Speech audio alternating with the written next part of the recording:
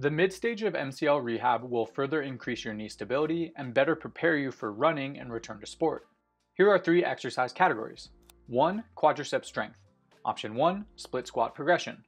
Bodyweight squat, split squat, front foot elevated split squat, then add weight over time.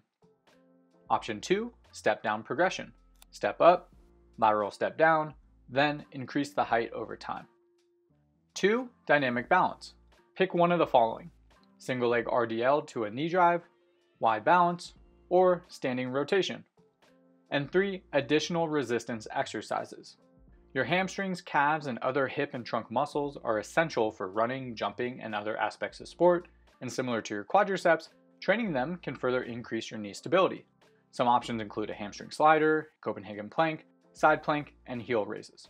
Once symptoms allow, you can perform these exercise categories two to three days a week.